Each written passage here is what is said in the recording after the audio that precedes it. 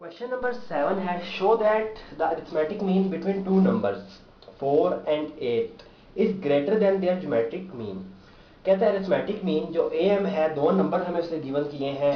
कहता है A M A M क्या है?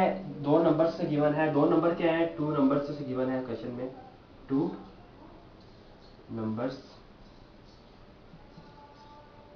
जो नंबर गिवन है, वो है हमारे पास A is equal to four हम कहते हैं a is equal to four and b is equal to eight कहते हैं arithmetic mean between them arithmetic mean A M zone सा है इन दोनों के दरमियान. यदि बात है ए एम दोनों के दरमियान जैसे जोमेट्रिक मीन भी इन दोनों के दरमियान होता है.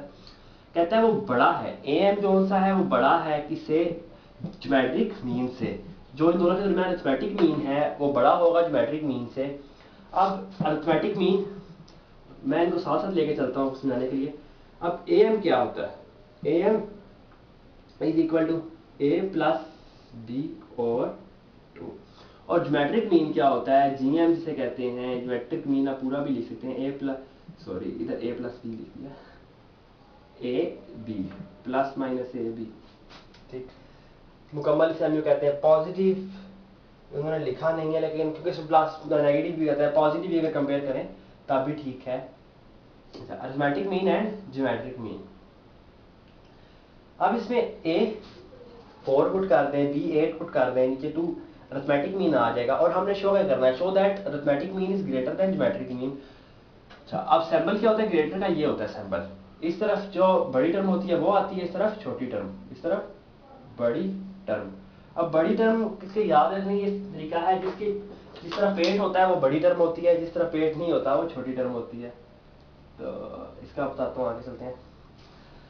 अर्थमेटिक मीन ज्योमेट्रिक मीन अब ए एम क्या आएगा?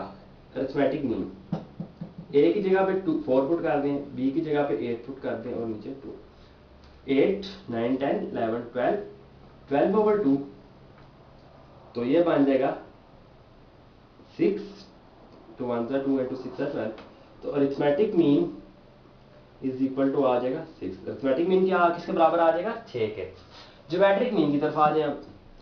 ज्योमेट्रिक मीन ज्योमेट्रिक मीन बनेगा plus minus four into four into eight ठीक? एट फोर ज़ा थर्टी टू अगर आप इस तरह से ना भी करें, मैं इसको लिख सकता हूँ four into four four into four into two eight क्या होता है? अच्छा फोर इंटू टू लिखने की एक वजह थी कि हम कुछ शो कर सकें, इन जनरल बात कर सकें। ये क्या बन जाएगा फोर स्क्र इंटू टू तो अगर अंडर रूट से बाहर निकालो माइनस साइन लेट्स को हम यहाँ से इग्नोर कर देते हैं, ठीक है? ज्योमेट्रिक मीन में। पॉजिटिव टर्म ले लेते हैं, क्योंकि नेगेटिव तो वैसे ही छोटी हो जाएगी, इससे पॉजिटिव नेगेटिव हो तो जनरल भी पता लगा ज्योमेट्रिक मीन छोटा है। और पॉजिटिव लिखते जाते हैं। फोर स्केयर अब फोर स्केयर बाहर आ जाएगा ऐसा लिख दो ज़्यादा करके four square into under root two plus minus अच्छा। अब फोर्स ये और ये काट जाएगा, आपस में तो ये बन जाएगा फोर अब टू का जो स्केयर रूट है, अगर कैलकुलेटर से आप फाइंड करें टू का square root under root two ये आ जाएगा something one point into one point four one four so one ठीक? अब अगर फोर को आप मल्टीप्लाई भी कर लें four into one point four one four तो ये आ जाएगा फाइव पॉइंट सिक्स ठीक? Five point six plus minus five point six five six. अच्छा ये क्या आ रहा है? इस साइड पे चल रहा है जी, एम। ये हम ज्योमेट्रिक मीन लिख रहे हैं। अब ज्योमेट्रिक मीन क्या आ गया? दो ज्योमेट्रिक मीन आ गए हैं six sorry five point six five and six और इधर ज्योमेट्रिक मीन क्या है? सिक्स तो सिक्स छः बड़ा है, पाँच छरिया छः से। ठीक? छः सिक्स बड़ा है फाइव पॉइंट सिक्स से। तो मैं इस तरह लिखूँगा इसको कि six is greater than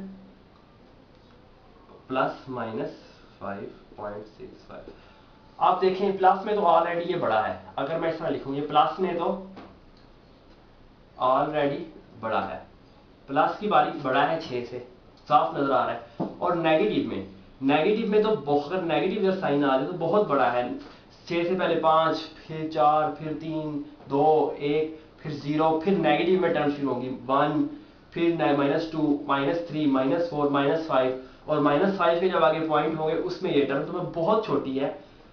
तो दोनों केसेस में ये अरिथमेटिक मीन सिक्स क्या है? अरिथमेटिक मीन है। अरिथमेटिक मीन ग्रेटर है ज्योमेट्रिक मीन से। अब ये सैम्बल क्या है? ये ग्रेटर का सैम्बल होता है। इक्विलिटी शो करने के लिए ग्रेटर और लेस देन को शो करने के लिए लिखा जाता है। जिस तरफ़ इसका पेज होता है, उस तरफ़ आती है बड़ी टर्म यह जैसे ओपनिंग है ओपनिंग की तरफ़ क्या होती है? बड़ी टर्म और जिस तरफ़ उसकी चोंच होती है या उसे क्या उस तरफ़ होती है लोटर, ठीक? तो उसका सैमल आप समझ जाए, टेट की तरफ़ वर्डी टर्म तो दूसरे पास निकी टर्म ठीक है? और